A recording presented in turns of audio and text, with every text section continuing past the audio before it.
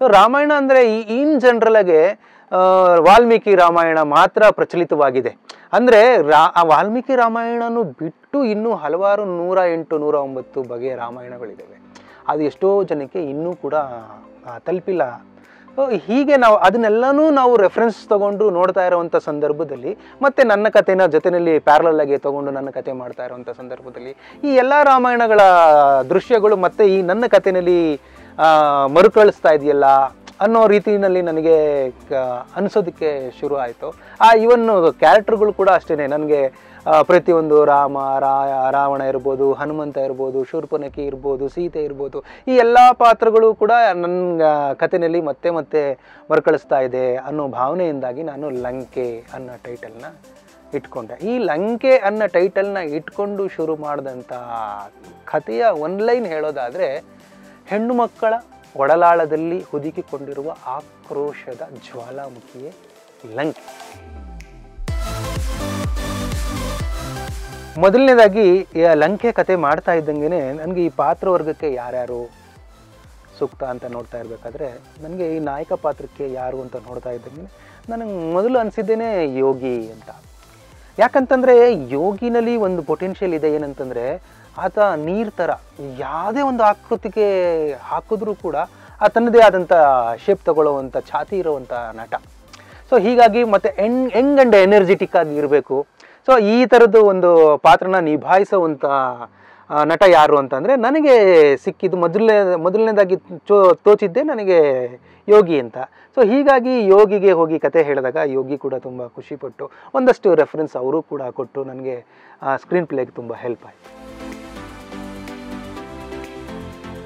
ನನಗೆ skin business ತುಂಬ interesting ಅಂತ ಅನ್ನಿಸ್ತು. ಮತ್ತು ಒಂದು ಸಿನಿಮ್ಯಾಟಿಕಲಿ ತುಂಬ ಚೆನ್ನಾಗಿರುತ್ತೆ ಇದು ಕೂಡ ಅಂತ ನನಗೆ ಅಂತ ಅನ್ನಿಸ್ತು. ಸೊ ಈ ಒಂದು ವಿಷಯನ ಜಾಸ್ತಿ ನಾನು ಅನಲೈಸ್ ಮಾಡೋದಕ್ಕೆ ಶುರು ಮಾಡಿದಾಗ ನನ್ನ ಊರಲ್ಲೇ ನಡೆದಂಥ ಘಟನೆ ನನಗೆ ಇಲ್ಲಿ ನೆನಪಾಗ್ತಾ ಬಂತು.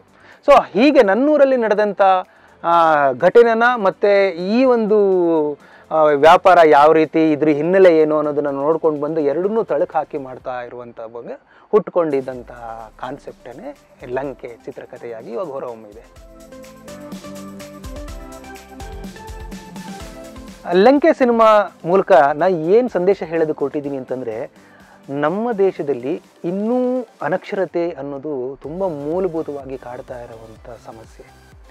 ಸೊ ಇನ್ನೂ ಹಲವಾರು ಜನಾಂಗಗಳನ್ನ ನಾವು ತಗೊಂಡು ಬಂದರೆ ಇನ್ನೂ ಅವ್ರಿಗೆ ವಿದ್ಯಾಭ್ಯಾಸದ ಅರಿವೇ ಇಲ್ಲ. ಇಂಥ ಒಂದು ಪರಿಸ್ಥಿತಿನಲ್ಲಿ ಇದ್ದಾರೆ.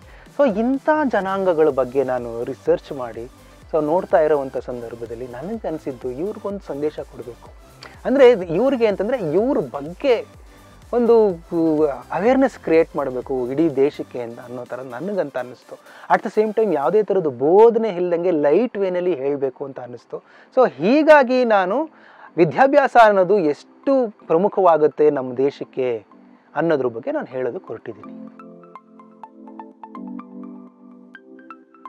ಎಷ್ಟೇ ಖರ್ಚಾದರೂ ಚಿ, ಚಿಂತೆ ಇಲ್ಲ, ಅದ್ದೂರಿಯಾಗೇ ಇರಬೇಕು.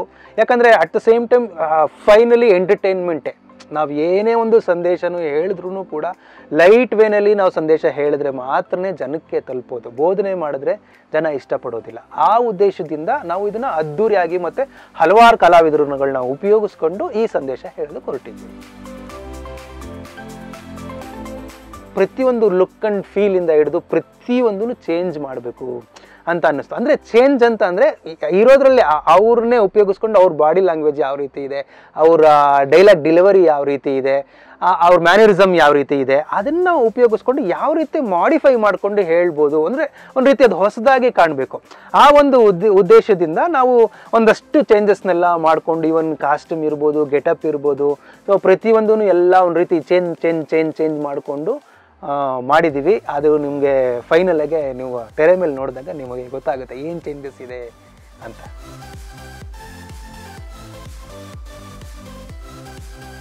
ವಿಶೇಷವಾಗಿ ನಾಯಕಿಯರ ಬಗ್ಗೆನೇ ಹೇಳೋದಾದರೆ ತುಂಬ ಅದ್ಭುತವಾಗಿ ಕಾಣ್ತಾರೆ. ಎಲ್ಲರೂ ಸುಂದರಿಯರೇ ಇನ್ನು ಕಾವ್ಯ ಶೆಟ್ಟಿ ಬಗ್ಗೆ ಹೇಳಬೇಕಾದ್ರೆ ಎಸ್ಪೆಷಲಿ ಒಂದು ಅದ್ಭುತವಾದ ಪಾತ್ರನ ನಿಭಾಯಿಸಿದಾಳೆ ಆಕೆ. ಆಕೆ ವಯಸ್ಸಿನ ಮೀರಿದ್ದು ಆಕೆಯ ಪ್ರಬುದ್ಧತೆಯನ್ನು ಮೀರಿದಂಥ ಪಾತ್ರ ಅದು ಅಂತ ಹೇಳೋದಕ್ಕೆ ನಾನು ಇಷ್ಟಪಡ್ತೀನಿ. ಅಷ್ಟು ಗಟ್ಟಿಯಾದ ಪಾತ್ರನ ಆಕೆ ನಿಜವಾಗ್ಲೂ ನಿಭಾಯಿಸಿರೋ ರೀತಿ ನೋಡಿದ್ರೆ ನಮ್ಗೆ ನಿಜವಾಗ್ಲೂ ವಾವ್ ಅಂತ ಅಂತ ಅನಿಸುತ್ತೆ. ಇನ್ನು ಕೃಷಿ ಒಂಥರ ಸಾಫ್ಟ್ ಸ್ಪೋಕನ್ ಪಕ್ಕದ ಮನೆ ಹುಡುಗಿ ಅಂತ ಹೇಳ್ಬೋದು, ಆ ರೀತಿ ಪಾತ್ರನ ಕೃಷಿ ನಿಭಾಯಿಸಿದ್ದಾಳೆ. ಅಷ್ಟೇ ಸೊಗಸಾಗಿ ಕೂಡ ಪಾತ್ರನ ಅರ್ಥ ಮಾಡಿಕೊಂಡು ಭಾಳ ಚೆನ್ನಾಗಿ ಆ್ಯಕ್ಟ್ ಮಾಡಿದ್ದಾಳೆ ಕೃಷಿ ಅಂತ ಹೇಳೋದಕ್ಕೆ ನಾನು ಇಷ್ಟಪಡ್ತೀನಿ. ಇನ್ನು ಎಸ್ತರ್ ನೊರಾನ ಕ್ಯಾರೆಕ್ಟರ್ ಬಗ್ಗೆ ನಾನು ಇವಾಗಲೇ ರಿವೀಲ್ ಮಾಡೋದಕ್ಕೆ ಇಷ್ಟಪಡೋದಿಲ್ಲ. ಯಾಕಂತಂದ್ರೆ ನಾನು ಇವತ್ತು ತೆರೆ ಮೇಲೆ ನೋಡಬೇಕು ಅಂತ ಸರ್ಪ್ರೈಸ್ ಇದೆ. ಏನಂತಂದರೆ ಹೌದು ಟೀಸರ್ ಒಂದು ನನ್ನ ಸಿನಿಮಾದ ಒಂದು ಸಣ್ಣ ಜಲಕ್ ಅದನ್ನ ನೋಡಿ ಸಿನಿಮಾ ಕಂಟೆಂಟ್ ಏನು ಮತ್ತು ಕ್ವಾಲಿಟಿ ಏನು ಅನ್ನೋದನ್ನ ಈಗ ಆಲ್ರೆಡಿ ಜಡ್ಜ್ ಮಾಡೋ ಅಷ್ಟು ಕೆಪಾಸಿಟಿ ಇದೆ ನಮ್ಮ ಆಡಿಯನ್ಸ್ಗೆ ಸೊ ಅದನ್ನ ನಾವು ಮೂಲವಾಗಿ ಇಟ್ಕೊಂಡು ಮಾತಾಡೋದಾದರೆ ನಿಜವಾಗ್ಲೂ ಅದ್ಭುತವಾದ ರೆಸ್ಪಾನ್ಸ್ ತಗೊಂಡಿದೆ. ಇನ್ನು ಸಿನಿಮಾದ ತಂತ್ರಜ್ಞರ ಬಗ್ಗೆ ಹೇಳೋದಾದರೆ ಹೆಮ್ಮೆಯಿಂದ ಹೇಳ್ಬೋದು. ಏನಂತಂದರೆ ನಮ್ಮ ಚಿತ್ರದ ಸಿನಿಮಾಟೋಗ್ರಾಫರ್ ಇಡೀ ದಕ್ಷಿಣ ಭಾರತದಲ್ಲೇ ಹೆಸರುವಾಸಿಯಾಗಿದ್ದಂಥ ರಮೇಶ್ ಬಾಬು ಸರ್. ಮತ್ತು ಪುಟ್ಗೌರಿ ಖ್ಯಾತಿ ಲಂಬೋದರ ನಾನು ಮತ್ತು ಗುಂಡ ಖ್ಯಾತಿಯ ಕಾರ್ತಿಕ್ ಶರ್ಮಾ ಮತ್ತು ಮ್ಯೂಸಿಕ್ಕು ಇನ್ನು ಎಡಿಟರ್ ಬಂದ್ಬಿಟ್ರೆ ಶಿವರಾಜ್ ಮೇಹು ಅಂತ. ಇನ್ನು ಫೈಟ್ ಮಾಸ್ಟರ್ಸು ಪಳಿನಿರಾಜ್, ರವಿವರ್ಮ ಮತ್ತು ಟೈಗರ್ ಅಶೋಕ್ ಅಂತ. ಇನ್ನು ಕೊರಿಯೋಗ್ರಾಫರ್ಸ್ ಧನಂಜಯ್ ಮತ್ತು ಮೋಹನ್. ಕಾರ್ತಿಕ್ ಮಾಡಿರುವಂಥ ಸಾಂಗ್ಸ್ ಬಗ್ಗೆ ಹೇಳೋದಾದರೆ ಮೊದಲನೇದಾಗಿ ಹೀರೋ ಇಂಟ್ರಡಕ್ಷನ್ ಸಾಂಗ್ ಅಂತ ಒಂದು ಮಾಡ್ಕೊಂಡ್ರು ಯಾಕಂದರೆ ನಮ್ಮದು ಪಕ್ಕ ಮಾಸ್ ಮಸಾಲ ಕಮರ್ಷಿಯಲ್ ಸಿನಿಮಾ ಆಗಿರೋ ಕಾರಣದಿಂದಾಗಿ ಒಂದು ಹೀರೋ ಇಂಟ್ರಡಕ್ಷನ್ ಸಾಂಗ್ ಮಾಡಬೇಕು ಅಂತ ಪ್ಲ್ಯಾನ್ ಮಾಡಿದ್ವಿ. ಅದು ಇವತ್ತಿನ ದಿನ ಯೂಟ್ಯೂಬ್ನಲ್ಲಿ ಅತ್ಯದ್ಭುತವಾದ ರೆಸ್ಪಾನ್ಸ್ ಪಡ್ಕೊಂಡಿದೆ. ನೋಡು ನೋಡು ಯೋಗಿ ಬಾಸು ಮಾಸ್ ಎಂಟ್ರಿ ಕೊಟ್ಟೇ ಬಿಟ್ಟ ಅಂತ. ಸೊ ಅದು ನಾನೇ ಬರೆದಿರೋದು ಕೂಡ. ಇನ್ನು ಎರಡನೇ ಹಾಡು ಲಯನ್, ನಯನಕ್ಕೆ ನಯನ ಅಂತ. ರವಿಶಂಕರ್ ಗುರುಜಿ ಆಶ್ರಮದಲ್ಲಿ ಶೂಟ್ ಮಾಡಿದ್ವಿ. ಧನಂಜಯ್ ಮಾಸ್ಟರ್ ಬಗ್ಗೆ ಮಾತಾಡೋದಾದರೆ ಖಂಡಿತವಾಗ್ಲೂ ಆತ ಡ್ಯಾನ್ಸ್ ಡೇವಿಲ್ ಅಂತ ಹೇಳೋದಕ್ಕೆ ನಾನು ಇಷ್ಟಪಡ್ತೀನಿ. ನಿಜವಾಗ್ಲೂ ಡ್ಯಾನ್ಸ್ನ, ಕೊರಿಯೋಗ್ರಫಿನ ಎಷ್ಟು ಚೆನ್ನಾಗಿ ಅರ್ಥ ಮಾಡ್ಕೊಂಡಿದ್ದಾರೆ ಅಂತಂದರೆ, ನೀವು ಅಟ್ ದ ಸೇಮ್ ಟೈಮ್ ನೂರು ಸಾಂಗು ಕೊಟ್ಟರೂ ಕೂಡ ಅದನ್ನು ವೆರೈಟಿ ವೆರೈಟಿ, ವೆರೈಟಿಯಾಗಿ ಕೊರಿಯೋಗ್ರಾಫ್ ಮಾಡೋವಂಥ ಕೆಪಾಸಿಟಿ ಇರೋವಂಥ ಕೊರಿಯೋಗ್ರಾಫರು ಧನಂಜಯ್ ಬಿ. ಇನ್ನು ಫೈನಲಿ ಪೆಪೆ ಪೆಪೆ ಡುಮ್ ಡುಮ್ ಡುಮ್ ಡುಮ್ ಡುಮ್. ಈ ಈ ಥರದ್ದು ಒಂದು ಸಾಂಗು. ತುಂಬ ಲೈಟ್ ವೇನಲ್ಲಿ ಇರೋವಂಥ ಸಾಂಗು ಲೈಟ್ ಮ್ಯೂಸಿಕ್ಕು ತುಂಬ ಚೆನ್ನಾಗಿ ಕ್ರಿಯೇಟ್ ಮಾಡಿರೋವಂಥ ಸಾಂಗ್ ಇದು. ಯಾಕಂದರೆ ನಮ್ಮ ಟಾರ್ಗೆಟ್ ಸಣ್ಣ ಮಕ್ಕಳು ಕೂಡ ಆಡಬೇಕು ಅನ್ನೋದಿತ್ತು. ಇವಾಗ ಅದು ಪ್ರೂವ್ ಆಗಿದೆ ಕೂಡ. ಈ ಸಾಂಗ್ನ ನಾವು ಮೋಹನ್ ಕೈನಲ್ಲಿ ಕೊರಿಯೋಗ್ರಾಫ್ ಮಾಡಿಸ್ಬೇಕು ಅಂತ ಅಂದ್ಕೊಂಡ್ವಿ ನಿಜವಾಗ್ಲೂ ಅದ್ಭುತವಾದ ಟ್ಯಾಲೆಂಟ್ ಇರೋವಂಥ ಮತ್ತೊಬ್ಬ ಡ್ಯಾನ್ಸ್ ಮಾಸ್ಟರ್ ನಮ್ಮ ಇಂಡಸ್ಟ್ರಿನಲ್ಲಿ ಮೋಹನ್ ಮಾಸ್ಟ್ರು ಯಾವುದೇ ಥರದ್ದು ಇದಿಲ್ದೇ ಏನಂತ ಹೇಳ್ತಾರೆ, ಕಷ್ಟ ಇಲ್ದೇನೆ ತುಂಬ ಸುಲಭವಾಗಿ ಕೊರಿಯೋಗ್ರಾಫ್ ಮಾಡಿ ಅಷ್ಟೇ ಅದ್ಭುತವಾಗಿ ಕಾಣಿಸೋ ರೀತಿಯಲ್ಲಿ ಮಾಡಿಕೊಟ್ಟಿದ್ದಾರೆ. ಥ್ಯಾಂಕ್ ಯು ಮೋಹನ್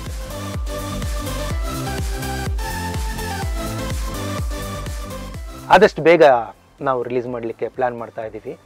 ಇನ್ನೇನು ಗೊತ್ತಾಗುತ್ತೆ ನಮಗೆ ವೀಕೆಂಡ್ ಕರ್ಫ್ಯೂ ಮತ್ತು ನೈಟ್ ಕರ್ಫ್ಯೂನ ತೆರವುಗೊಳಿಸ್ತಾರೆ ಅನ್ನೋ ಭರವಸೆನಲ್ಲಿದ್ದೀವಿ. ಆಗ್ತಾ ಇದ್ದಂಗೆ ಇಮಿಡಿಯೇಟಾಗಿ ನಾವು ರಿಲೀಸ್ ಮಾಡ್ತೀವಿ.